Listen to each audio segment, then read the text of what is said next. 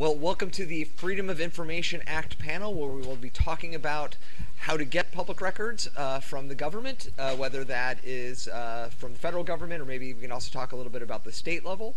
Um, I'm Dave Maass. I work at the Electronic Frontier Foundation, uh, which is a nonprofit that works on digital civil liberties issues. I particularly work on police surveillance, and so it involves filing a lot of public records requests to get information about uh, stingrays, license plate readers, use of databases, you name it.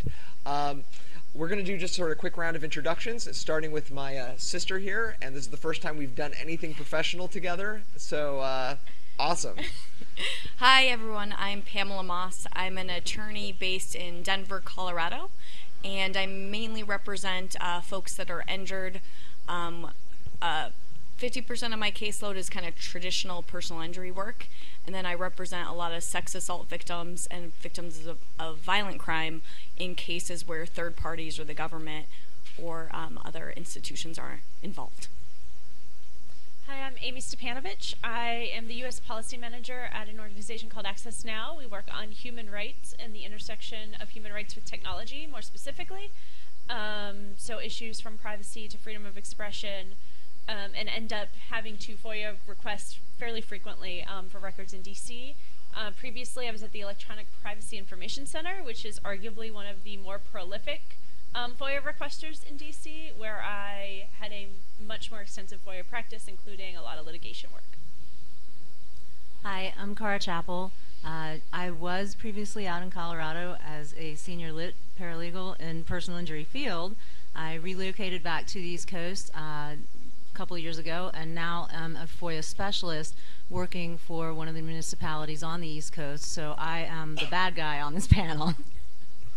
Awesome. So I'm going to do a, a, just a quick presentation doing an overview of what the Freedom of Information Act is, maybe a little bit about how I use it, and then I'm going to actually just file one on the screen while uh, other folks are answering questions and telling a little bit about their work and how they use it. Sound good? Awesome. All right, uh, just so you know, I'm not a lawyer, and so this is not uh, legal advice. I have to do a few disclaimers here. I also sit on a government body in San Francisco that oversees uh, transparency issues, and I'm not speaking on their behalf today. And also, these laws are very complicated at times, and so this is just going to be a quick overview. Uh, you know, there's a lot of resources online to give you a bigger, uh, a more in-depth look.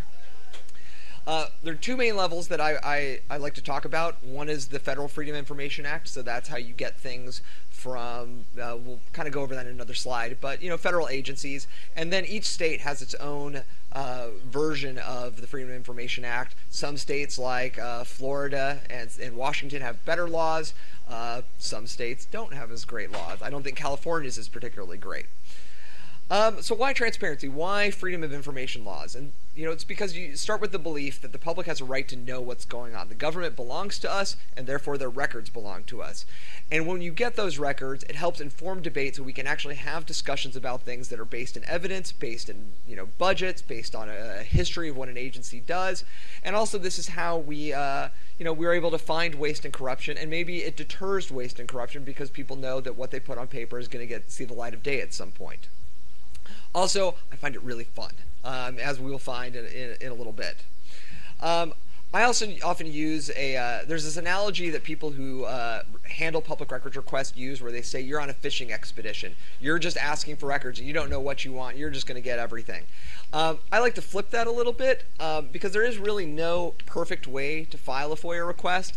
It really is every pond is different and every pond has fish that are different and every you know fisherman has his own lure and way of doing it and their own legal language and you know there are no consistency in the type of results that come back. It really is you try one thing you try another thing maybe eventually you get the records you want. I also like to use the uh, the old game battleship where maybe you file a foia request and you get one document that references other documents and then you just keep filing and filing and filing until you get the full picture so the Freedom of Information Act is a federal law that requires go the government to make certain records public. Um, anyone can file a, a, government records request, including people who are not U.S. citizens, with the exception that a, a, a recent update to the law from a few years back uh, said that if you are a foreign government, you can't request records from intelligence agencies. And it allows anyone to sue the government for access to records. Um, there's this concept that of presumption of disclosure, which means that government records, you know, all things being equal, a government record should be should be disclosed and open to the public. And there are only certain exemptions that a government agency can use to withhold records. And there are a lot of them, and I'm not going to read them all off. You can see the slides afterwards, or you can look online. But they often include things like national security documents, trade secrets, uh, personnel things, things related to law enforcement investigations, that sort of thing. I guess oil wells is on here. Um, I don't know if you care about oil wells. Um, it applies to uh, gov- all, you know government agencies, executive branch. It does not apply to uh, Congress. It does not apply to the White House. It does not apply to the judiciary. I believe the judiciary has a separate rule that you can request some administrative records through. Um, but it also does government-owned corporations like Amtrak. Um, already said that. Um, so there's a lot of different records you might want to get. You know, you might want to get emails between people on an issue. You may want to find a calendar of a particular agency. Obviously, reports. You know, inspector general investigations. I like to look at like government contracts for things. Um, you know, there's there's a lot of stuff you can get. Um, and then the first step is to kind of decide uh, what you want and what agency might have it. Um, and they have to be directed that you can't just send it to a random government address and ex- at least not right now and expect it to automatically make it to the agency that you want. You do have to be a little bit specific. And you can't ask for all records that the agency has ever produced. You can't say i want every email that has ever been sent by the fec because that's just not going to happen um, and you can't force an agency to create a record that doesn't exist. Um, you can sometimes ask for help to identify what records might answer your question. On the state level, like in California, they are required to be helpful to you. Um, so you can ask for requests and say, I want to know this thing, what document is going to have that, and then they're supposed to help specify. So, you know, this is not an example of what you should do. You should not say something, for those of you who can't read it, it says, I request all your documents, and you must give them to me, because FOIA. No. More like this, uh, you know, pursuant to FOIA, I want a record of your secret interpretation of the NSA spying program that allows you to, you know, collect people's phone call records. Glomar. What's that? Glomar. You might get a Glomar for that. you can explain Glomar in a little bit. Um, so, you know, certain things you're going to want to do is, uh, you know, look for references to documents, whether that is, um, you know, something you see in a news article or something that's said in a speech. I also suggest that you maybe spend some time looking through the uh, government agency's website before you bother to file a FOIA, because there's often often that records are already exist online, either because somebody else put in a FOIA request or because they just have like a database of documents that they make available. Um, you should also know that they can charge you a fee to produce copies, and so it um, often helps to say in your request that you want to, you know, if it's going to be more than ten dollars, please let me know, and we can, you know, I can narrow my request, or I'm willing to pay up to fifty dollars. Um, with state level ones, there's often the ability for you to go inspect in person to, you know, skip all fees possible. Um, there's a few ways you can get out of a fee if you say that you are a member of the news media, which can be like a broad description of what a news media is. It's not just like newspapers. Um, or you can make the argument that you're not charging anyone for the records, you're not monetizing these records, and that if you release these records, it is going to contribute significantly to the public's understanding of government activities. Um, you can also ask them to speed it up, um, which doesn't happen that often. I've had it happen a couple of times. Um, and you know, some agencies do accept it via email. Some will only take fax or snail mail, which is pretty irritating to me. Um, some have like an online portal that you can fill out. Uh, we had a little battle with the FBI because they were testing out a system and they wanted you to upload your driver's license, which there is no reason whatsoever you should have to upload your driver's license for a uh, for a FOIA request. And there's a, a 20-day deadline for an agency to get back to you, um, and uh, it's not not something they uh, adhere to very often, in my experience. Um, then after you, and, and Amie's going to talk a little bit about what happens if you, you get rejected or you don't get the records you want. Um, you can uh, you know you can appeal, and that's usually the first step. There's another independent agency called the Office of Government Information Services. You can ask them to get involved. You can try again, and you can sue. Um, there's three kind of good tools out there for filing. You know, if you don't want to just write up your letter and send it, there are some automated systems. One I'm going to demonstrate in a little bit is called MuckRock. Uh, but the FOIA Machine is also a similar thing, and then the Reporters Committee for Free Press has something called iFOIA. Um, and all of them will, to one extent or another, help you with form language. Um, MuckRock will actually send reminder emails when you hit the deadline to the agency, and then they will accept the documents on your behalf and upload them online. Um, like I said, you should search online first. A little like pro tip is uh, I often will put in the search term and then I'll put site colon dot gov and it will search, you know, uh, .gov domains looking for the records that meet that regard. You can even actually add site colon gov and then file type dot .pdf to get all PDFs that reference that that title. Um, I want to give you an example of some that I thought were pretty fun and maybe Dragon Con specific. So I was at San Diego Comic Con uh, in July, and the History Channel set a boat on fire in the uh, in the harbor, and I thought to myself, how the heck did they get permission to do this? Like, surely there's like environmental issues. You know, how did they do it? So I put in a FOIA request, um, and I got lots of like boring paperwork, but I also got the uh, the map of the plan that they did, and if I had filed it before Comic Con, I could have done a spoiler on it because this was filed like more than a month in advance. Um, and then my favorite is here's the artist illustration of what it was supposed to look like. it did not look like this. You can see that there's no flaming sky behind it. There's just a gross bridge, and I think that's like the some banana like import business. It's I think it's the Dole factory, but that looks way better, right? Um, uh, uh, another one that I, fought, I found is that uh, the city of San Diego wanted to name a street after Mark Hamill. And I was like, well, I'm going to FOIA that because if I see it involves the government, I'm like, I can get those records. Anyway, I got like 450 pages worth of documents, and there were some interesting things in there. Like, for one, um, originally there was a road that was called Chargers Boulevard, and the Chargers had just moved from San Diego, and everybody didn't want to live on the Chargers Boulevard anymore. Um, so they were pursuing that to name that Mark Hamill, and then they realized everybody would have to change their mailing addresses. And then people were like, well, no, let's find a street that nobody lives on and change that. Um, we found the correspondence from, uh, you know, the um, local stormtroopers group that wanted to come and, and join, and they said, no, please don't come. And I was like, oh man, that's a pretty bummer. And then we got numbers on how much the sign cost, how much it cost for the police to come out, how much it cost for the barricades for the event, how much it cost to rent the stages. But the best thing I got direct messages on Twitter between Mark Hamill and a city council member. Uh, you know, where he is very uh, excited about getting the uh, the award, and they discuss the logistics and who his guests can be, and how he's going to park down the street and get escorted by security guards because he doesn't want to get swarmed. And I thought that was shows the power of uh, of the California Public Records Act that you can get Mark Hamill's direct messages. That's what I got for this, and so we're gonna I'm gonna you kind of keep out of the corner of your eye seeing this uh, public records request that I'm going to be putting together. Um, we have a panel tonight. I'm on a panel tonight about the show Hunted, which is a CBS reality show about surveillance. And I think I'm going to file some requests today about the TV show Hunted uh, that I can, you know, maybe next year, I, by the time I get the records back, uh, I can talk about. Um, so uh, we'll, we'll, go ahead and start with Pam.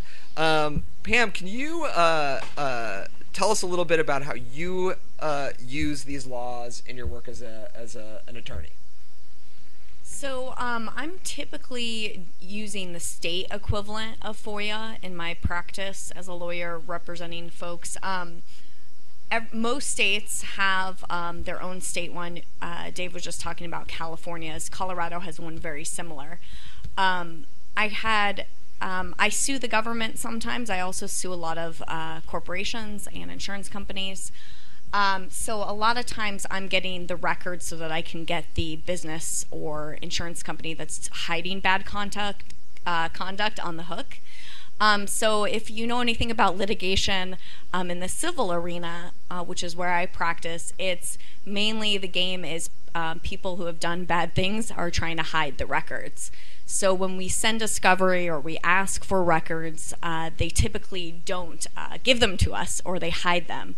And so public records requests are kind of um, the number one way that I find kind of the smoking gun or the thing that really helps my client prove that the business either is doing unsafe practices or knew about a problem and is hiding it um, and is really um, causing uh, safety concerns um, in the community at large. So, to give an example, um, I had a case against a um, jail in Colorado. Um, my client um, was the family of a woman who died in the jail. Um, it's a very unfortunate case. She was withdrawing from alcohol, and so simply either getting her to the ER or giving her Gatorade um, could have pre- prevented that. Um, alcohol withdrawal, it's very um, rare for someone to die from that. So the the uh, jail system did not um, do anything. She passed away, and so we represented her heirs and her small children um, to recover. Um, so from doing um, Colorado open records requests, we were able to get um, not only com- prior complaints with the jail, but you know the full files for everything um, much sooner than we would through the discovery process, and we were able to get a lot of warnings and things that we wouldn't necessarily get. Um, when to give you another state example, um, suing a corporation, um, I've used open records requests. I have a case right now um, where my client was um, a domestic violence victim. She was at a nightclub. Um, she went up to security and um, her abuser had shown up at the nightclub and was threatening her and pushing her, and so she went up to security and asked for help. Um, security said they would take care of it um, and make sure she was okay. They did not, um, and then she got beaten up pretty badly in the parking lot by her abuser. Um, so I was able to use open records requests. I mean, the bar um, and nightclub um, has a pattern of this. So my open records requests were able to get calls for service with similar type incidents um, board meetings, um, city council meetings, um, lots of information that shows that not only did the bar have the pattern of doing this, but that um, this is something they should have corrected. So it's really been critical in my practice for finding um, documentation um, that corporations typically want to hide. So thank you. Awesome. All right, so moving on to Amie. Amie, tell us what happens when your request is improperly uh, rejected. Sure. Um, before I do that, though, I do want to start with my funnest fact about FOIA um, that you guys can all take back with you. Do you all know who Florida Man is? Maybe? Yeah, you've heard of Florida Man. Um, I'm from Florida. What? So Florida Man is supposedly is the culmination of a bunch of stupid people that live in Florida that do really weird things like drive naked through the drive-through. Um, I learned a while ago that one of the reasons Florida Man exists is not because people are dumber or do dumber things in Florida. It's because Florida has really good open records laws on arrests. And so it is very easy for people to get records of when police are detaining or interacting with people in Florida. And so one of the reasons you hear about it more often from the state of Florida is because of their state open records laws, which I found fascinating. Um, and I have now shared it with all of you. So next time you see Florida Man, you you know my fun fact.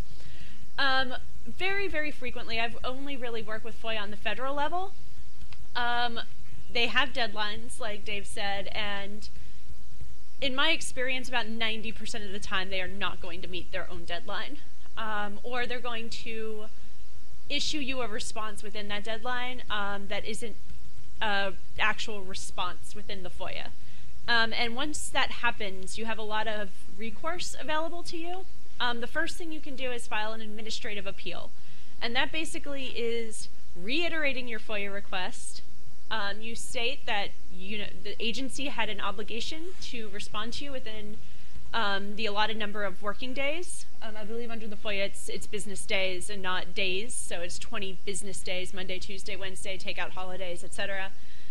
Um, and and you want them to continue to process the request. This takes your request out of the queue of requests and puts it into another queue for appealed requests. Um, that can slow the process down, ironically, or speed it up, um, depending.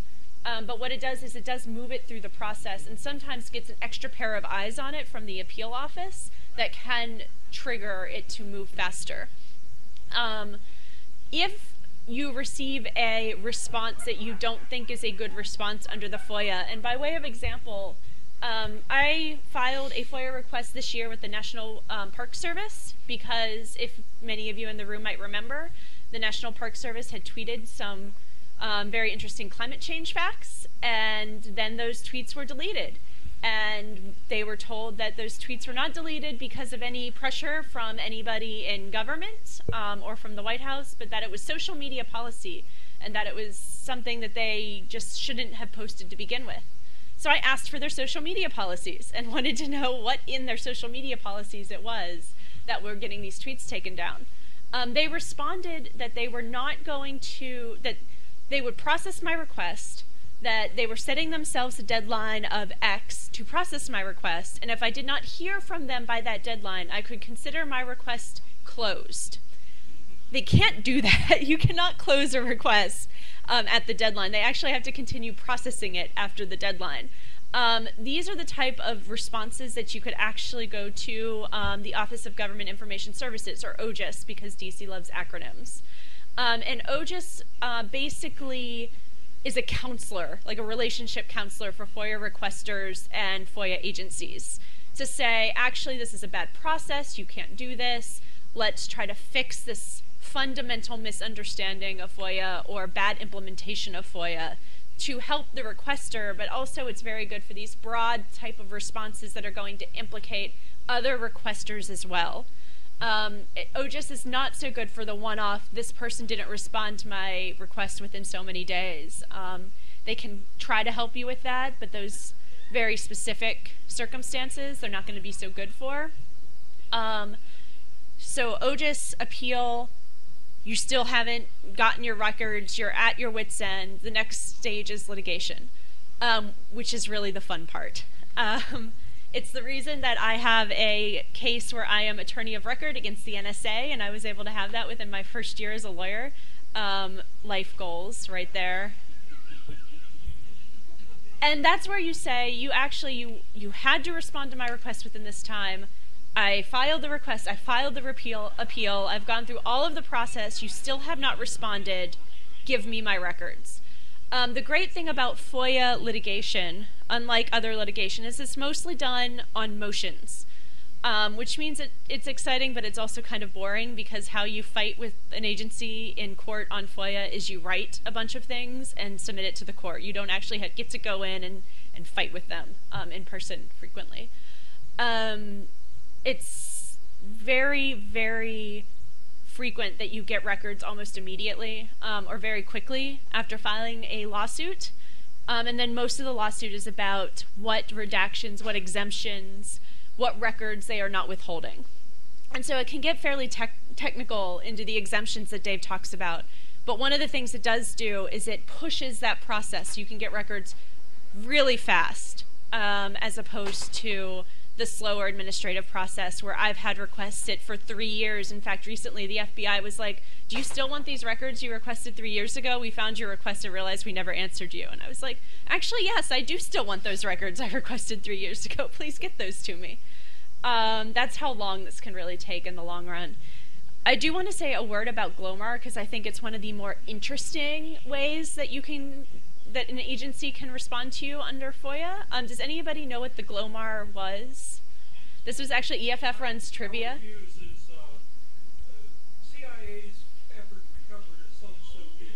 Yeah, the Glomar was a ship, um, and somebody requested records about that ship, and the government basically said, actually, we're neither going to confirm nor deny that these records exist. And that record, that response from a government agency is now known as a GLOMAR response um, in honor of this ship and the first time that it was invoked. They use it for a lot of things. And if you ever request anything from NSA, CIA, basically any intelligence agency, you will eventually and very quickly see a we will neither confirm nor deny.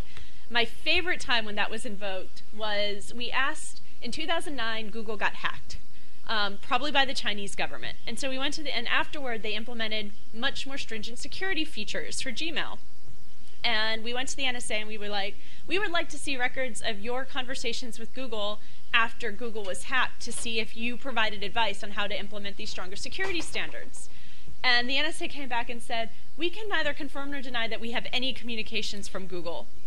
And we were like, actually, you should respond because Google sends out a lot of marketing emails, which would have absolutely zero impact on national security if you said that you had records that you had received from Google and disclose that to us. And there might be other records that you don't want to disclose, but you shouldn't be able to GLOMAR the entire response.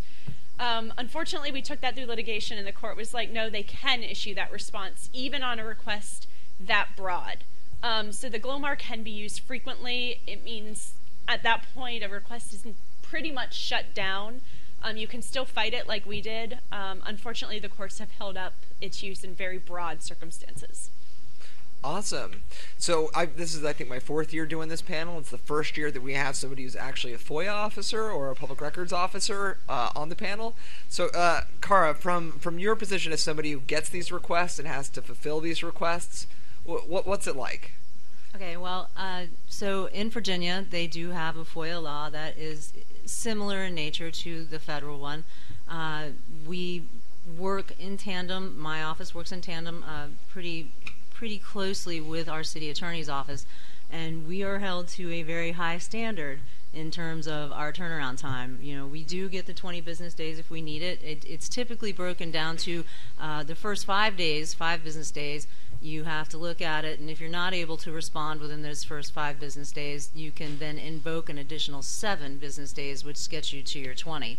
Um, for a FOIA response coming in, let's use an example, say, our city council has approved construction uh, in an area and is assigning 150 million dollars of taxpayer money to it. And people get a little upset about that. They're like, well, what's going on with that? So they want to FOIA that information. How did you come to that determination?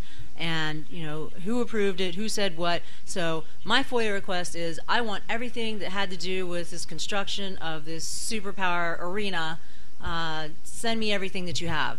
And the first response to that is going to be that's overly broad because there's a lot of players involved, and there's no real way that we can respond to that. And all the information uh, is, again, it's just an overly broad thing. So, from a FOIA officer's aspect, you have to turn around and say, I need to narrow this request down. You need to be more specific.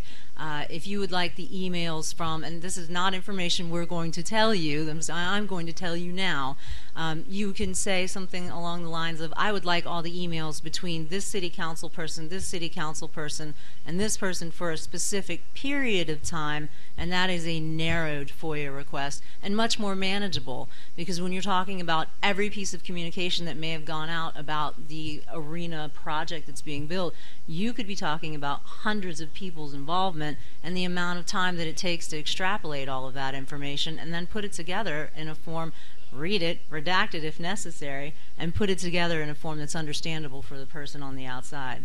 So uh, that may explain some of the delay that you're looking at when you are seeing things going to government agencies and people send overly broad requests. You need to narrow these down to something that's manageable and understandable to the officer who's actually going to get your request.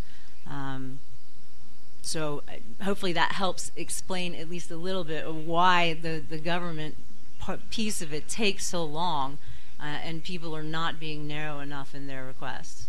Awesome. So I want to follow on that. So we have someone in the audience who is a Department of Defense uh, FOIA officer, and I just wanted to ask, um, could we, the orange box, we right here?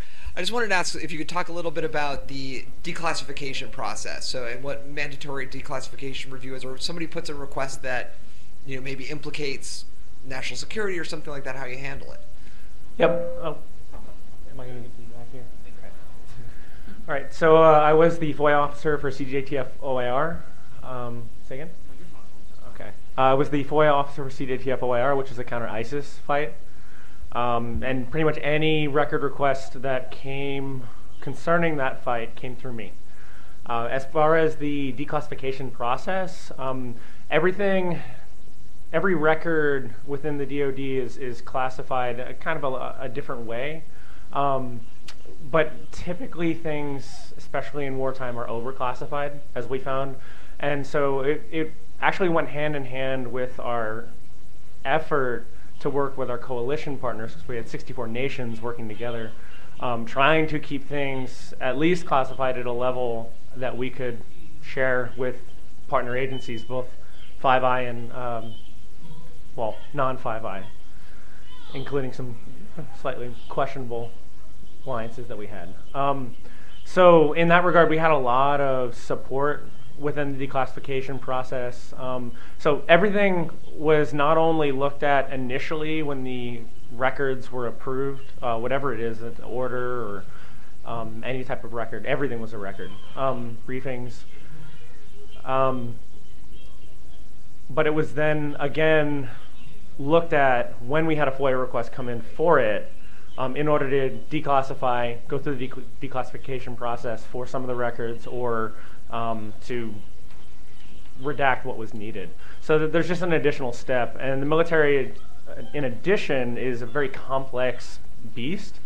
So she said the first five days are looking at the record. Our first 10 days, we're just getting it to the right organization. Awesome. Um, Just real quick, does everybody know what the Five Eyes is? I'm cognizant that that's a pretty wonky term. No, the Five Eyes is basically the the intelligence partnership in the world um, between the U.S., Canada, the U.K., Australia, and New Zealand, um, which are very close intelligence partners, um, which is what he was referencing.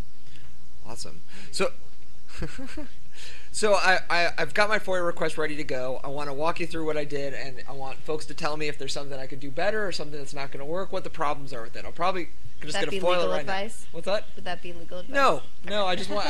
no, you're not. I'm no. just teasing. Go ahead. All right.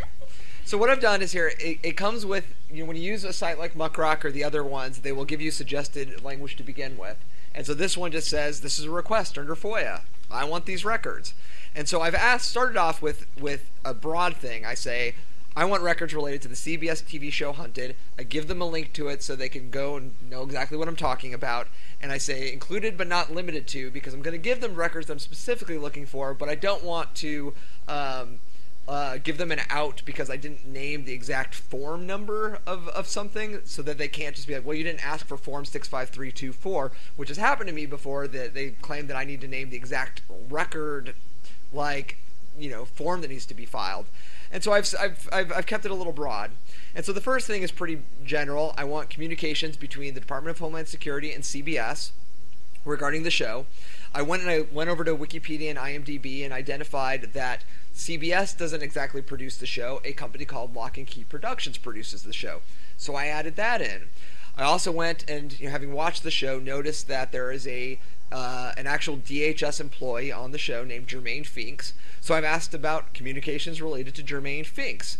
And then I have I wonder I wonder is this actually a propaganda show? Is this show funded by DHS? Is that is that what's going on? Because this is a show that um, if you're not familiar with it, um, I probably should have explained this before, but it's a reality show where teams of two go on the run and there's a team of like intelligence officers who have to track them down. And if you survive 28 days without getting caught you get $250000 but the uh, the the folks have all sorts of technology at their and access to databases we're going to find out later how real or not real this is uh, 7 o'clock panel if anyone wants to come in, in this room um, so I, I wanted to know whether they've actually provided any funding to this show and then I wanted to know whether they actually gave them access to any databases or technology.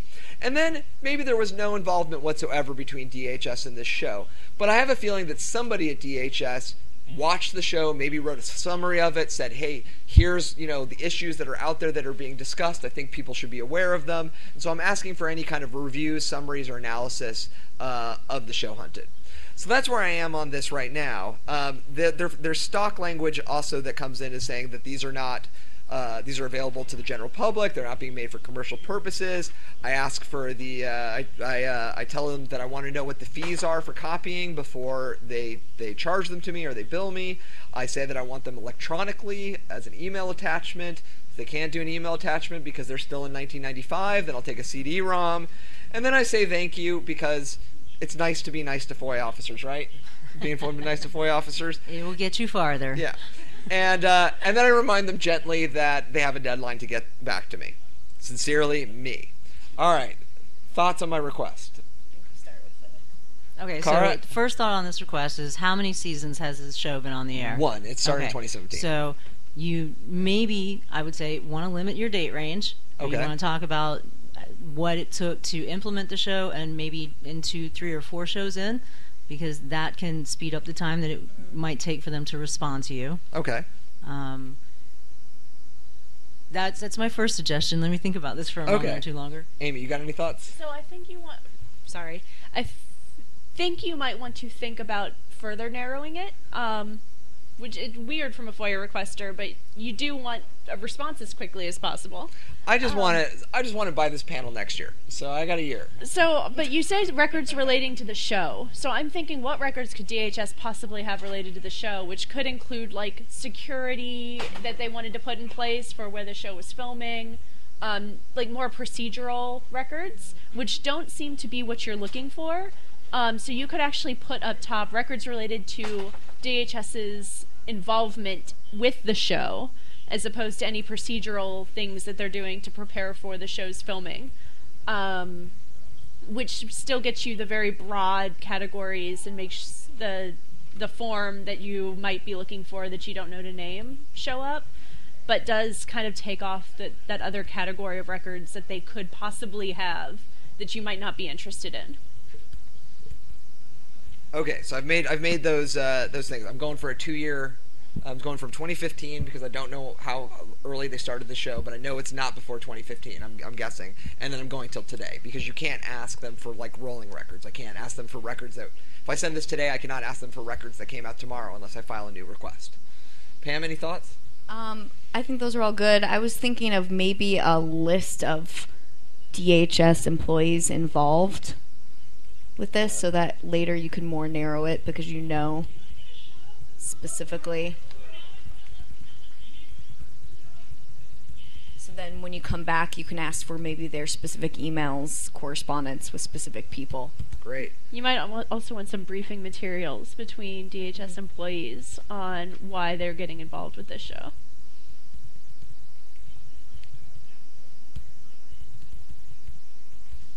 So you mentioned funding, correct? Yes. Uh, are you talking about did DHS have any involvement in the initial startup funding or ongoing?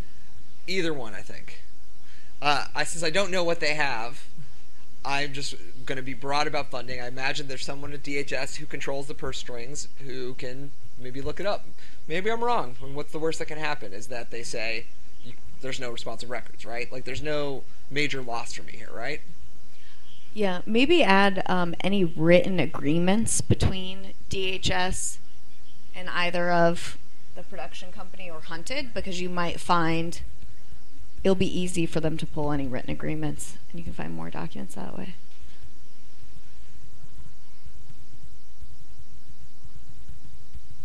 All right. Um, okay. Anything else? Nope. You're just like, oh, you got to narrow this down. Just pick one thing. one thing. I'm going to tell you that they're going to come back and go, that, that's too much. But I mean, it's easier for them to take one request than for me to file what seven different requests, right? Or no? it is easier for them to say you need to be more specific and give you some areas where you could narrow that down. Um, if you are going to get a, a FOIA person who's going to lend you that type of assistance, it's not a requirement uh, on behalf of FOIA. We just tell you it's overly broad and you need to narrow this down, so get creative and think out of the box. All right, we'll see. So I want you all to come back to this panel at DragonCon 2020, and we'll check back in to see how this is going. I was gonna say maybe a quicker way would be to s- do a, a California request.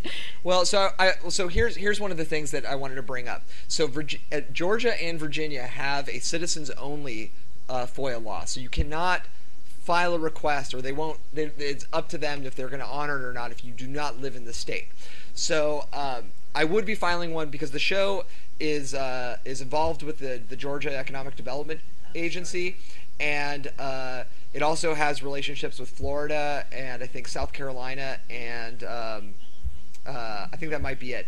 But I would be filing a Georgia one today, but I live in San Francisco, so in past years at this panel, I have tried to file Georgia requests and I've gotten rejected as not being a Georgia resident. So I, I, I would need somebody else here to bust out their laptop and file it instead.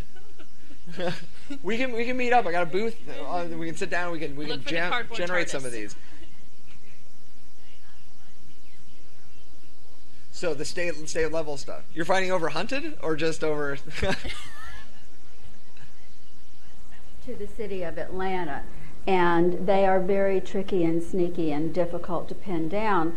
I've never dealt with the state, but I understand the state is reducing constantly reducing its um, their their um, the citizen access to records. They're closing things up. Um, so I wouldn't mind doing this as an experiment just to see how it works in the state and maybe learn something. So I don't have anything else to do. Awesome. So I'll meet with you. Okay, Rad. but I did want to say, as long as I have the uh, mic, um, so this is what the city of Atlanta does. They they throw up roadblocks, and we had a recent I- issue, and uh, I'm a private citizen. I'm just a neighborhood activist um, who's trying to stop some environmental destruction in my area. That it would be like a mini Houston if they keep paving over the floodplain and poisoning the anyway that's that's my stuff but um, we're having uh, we have a corruption investigation going on involving the mayor of atlanta kasim reed and an, a, a department head and the, he would they kept saying well this is um, it's personnel information. We can't give out that. And then they said it's it's under litigation. We're not allowed to give out information when it's under litigation. So the newspapers they filed a, a suit. And so here's what he did. He comes, there's a room like this, and there are banker's boxes lining the whole back of the room up all the way to the ceiling, unlabeled, and pages and pages, three million pages, photocopied copied pages or printed pages. And, and it was totally useless. So I'm wondering, um, you know, how, what you know, and and in my case, I can't afford a lawyer, and the people in my neighborhood, we're we're not going to hire somebody. But this is the newspaper, this is the public journalism, and they are being foiled about a very serious corruption investigation that's been ongoing for a long time. So I wondered what any of you might have any thoughts about that. And you said this was litigation? This, was is after a a criminal investigation of an employee. Uh, it's a, I believe it's bribery or possible other.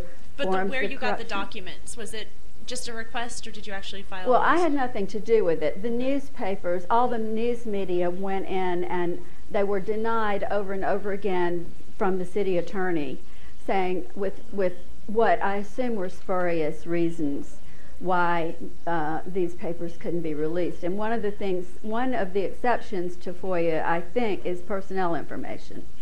So although the FBI and everybody was involved in this, it, it had gone past being personnel. Um, so finally, he did agree to release it, but he did it in such a form that it was useless.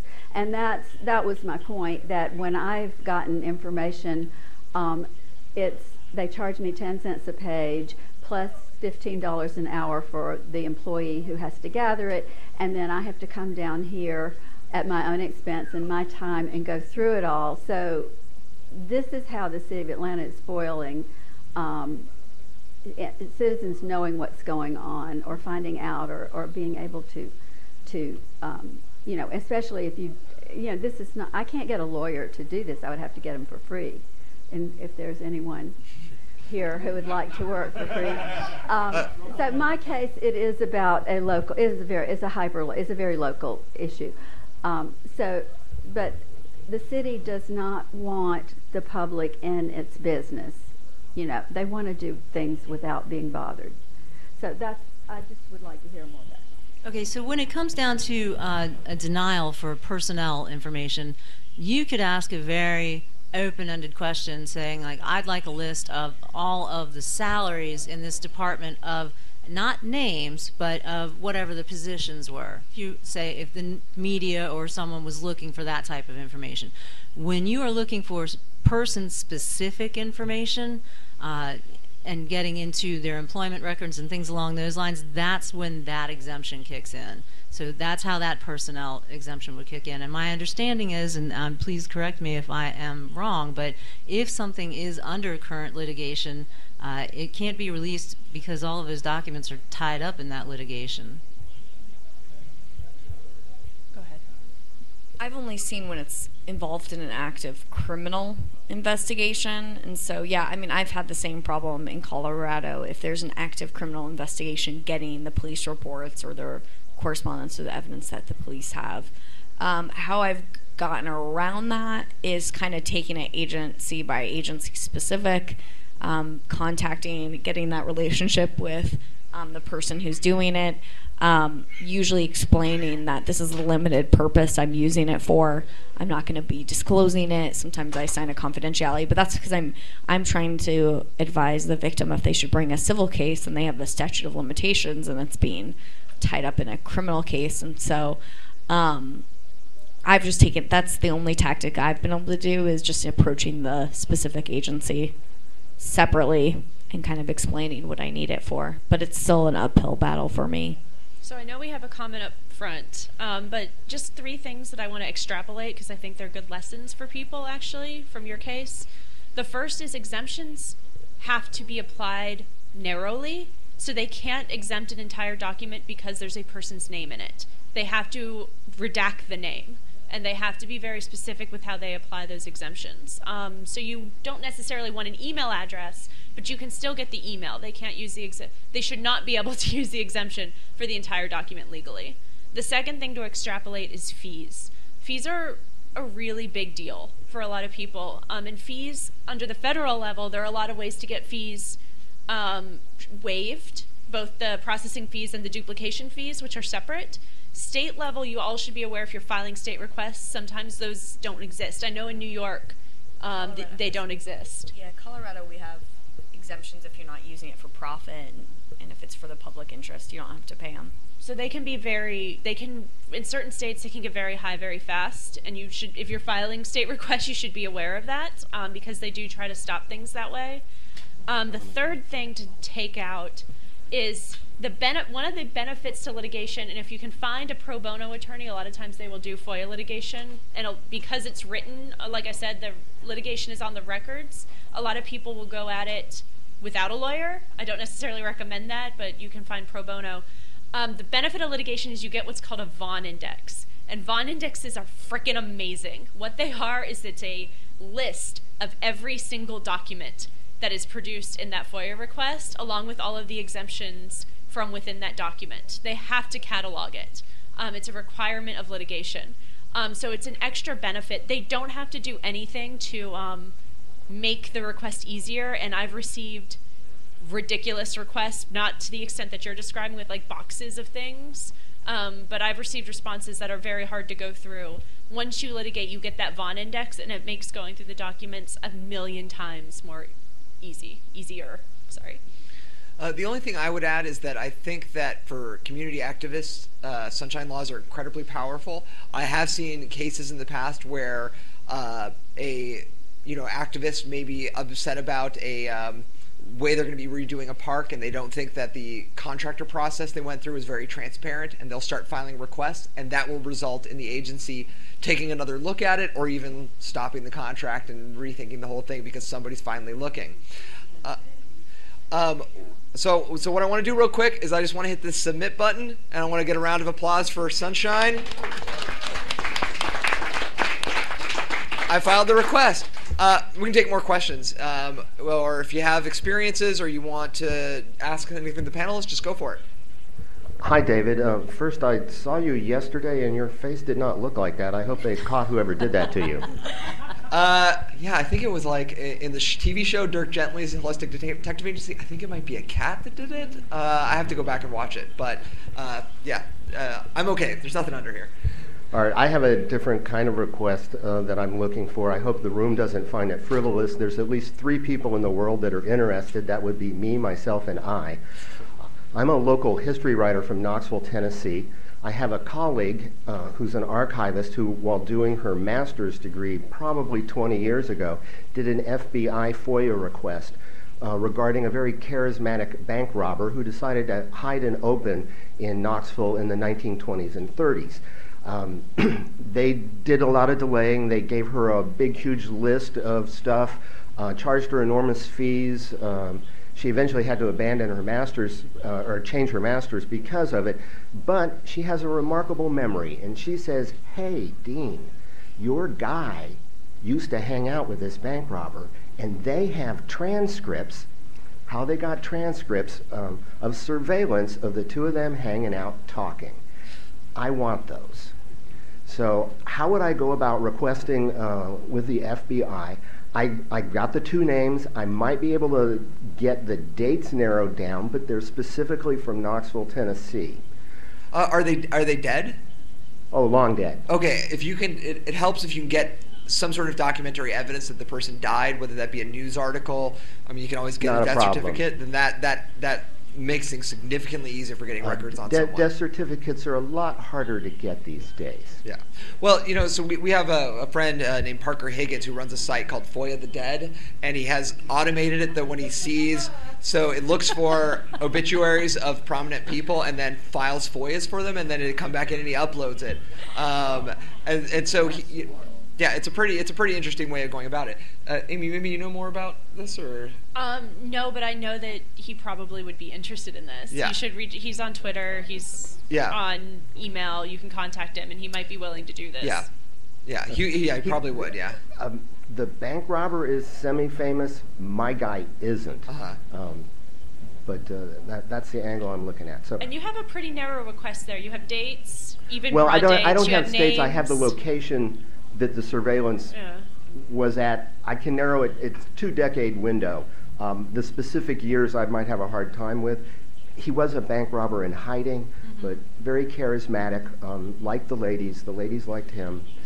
Uh, got around town. So I would Yeah. file a request on the. F- It's really easy to file a request with the FBI. They have a portal like what Dave just used. You put the names down, put whatever dates you have, put the location. Say you're looking for transcripts, and I would see what they get back to you. It might just FBI ask for the is whole also file. fairly quick. Yeah, Um, Well, the, the whole file apparently is quite extensive because he was embarrassing the hell out of the FBI. Okay. Um, and he broke out of jail several times, uh, robbed banks in the South. Um, they, um, no. You, you haven't heard of him yet. Um, I call him Basil the Bank Robber. I'm not going to use his real name because there are people working on this to make money off of his story. Um, so uh, I'm going to hope to make money off of the other guy's family. but one of the things she said, um, heavily redacted documents, which we found odd. Uh, given the, the time period and, and what it was about, any notion of what they would redact from, and we have no idea how they actually have transcripts. Given that there would not have been electronic surveillance, it's like, are they sitting in the bar with them? Uh, Um, We don't know. the the ways of government redaction are often a mystery. Um, Do you want to go back to the re- exemption page real quick? Um, both, both of them were dirty. yeah. So, so we got about uh, I think uh, uh, seven minutes left. So let's uh, try to knock out some more questions for people who are asking. My question is about redaction. Is there any way to appeal or override that? Um, I've seen documents read with- we- yeah. Two sentences and then So so with with with FOIA documents, it's um, so there's this reporter named Jason Leopold who files thousands of these things, and his general rule is always appeal. Even if you get records, always appeal because chances are they miss something. If you get it gets redacted, like appeal and just start there. That's the first thing I would do. After that, just go through the same process you would for anything. Go to OGIS um, and then go to litigation, or go right to litigation if you've got a lawyer who wants to do it. The, the exemptions are fairly straightforward. Dave lists them. Say they don't fall within the exemption. Um, there's a lot of really good information online. It's fairly succinct. Um, my one caution is they can classify things at any point in time. So even if you request a document that's not classified, they can go back and classify it. Um, I've had that battle with people before. Um, but the the exemptions are fairly straightforward. They're in the law. They're numbered. They're easy to fight, and you can fight them. The same process. Same process as requesting. Hi. Uh, the other half of the FOIA equation is making sure there's something that exists to be FOIA'd in the first place. Uh, what effect do you think the past spate of really high-level FOIA uh, discoveries have had on government agencies' willingness to honor the Federal Records uh, Act in the first place? I've found they've just gotten better with FOIA in the federal government. To be honest, they're cataloging records better because they want to resp- they they don't want these records requests sitting in FOIA offices for a zillion years. Um, they're trying across the board. I think is my like my general interpretation, but it's hard.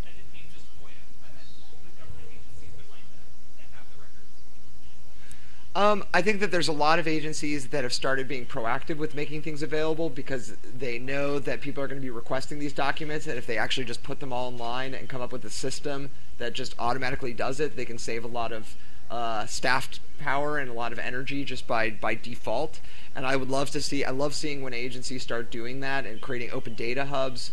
Um, and that's a sort of uh, an improvement that I've seen is agencies starting to realize that these documents that people want aren't necessarily PDFs, aren't necessarily paper, but are Excel sheets. There are you know CSV files. There are you know data. They're big data, and they a lot of them started to realize that these aren't just you know uh, gadflies who are trying to harass the government.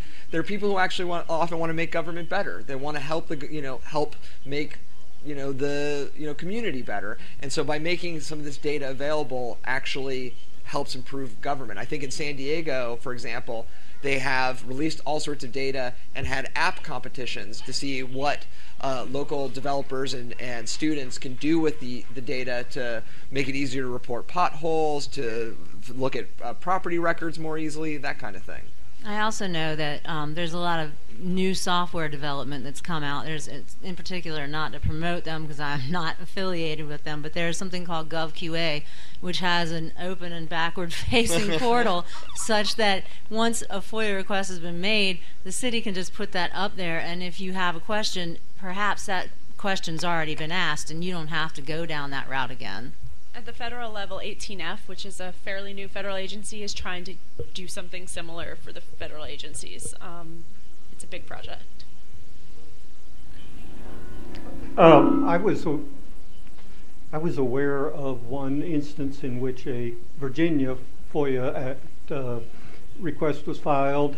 Uh, the agency printed out, you know, did a computer query, printed out the computer query, then send it to a clerk to uh, copy it on the copier, uh, building up the copying cost and the time of the clerk to do it, to you know just hit at the person filing, you know, run up the cost.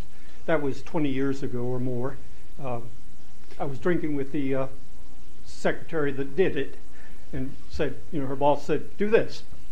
Well, that's an unfortunate perception that uh, everybody thinks that you're trying to run up the cost. You need to think of the scope of what you're asking again. If you are asking for uh, emails and documents from high level uh, people within the department under FOIA, say you're looking for the city manager's uh, emails. Under FOIA, the city manager then has to assign that role to someone who has access to his email. So the lowest paid employee with access to that information is actually extrapolating that information and making it available. It is not like you're going to be paying that city manager's hourly wage to dig out those documents for you. Uh, unfortunately, when those FOIA requests are super large and there are many people involved, and you you know you do have to look at the burden that you're putting on the agencies involved because it's time and money out of their pocket to provide you the information that you're looking at. So, one last question. Okay. Well, sorry. So I think I think Marcel had an idea for an answer to that as well. So, well, it's not just that. We've heard a couple, a few horror stories, and, and they're all over. Um, and I think the phrase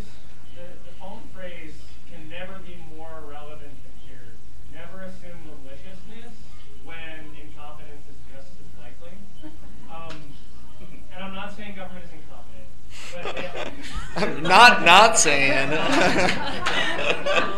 and I think um, they're busy.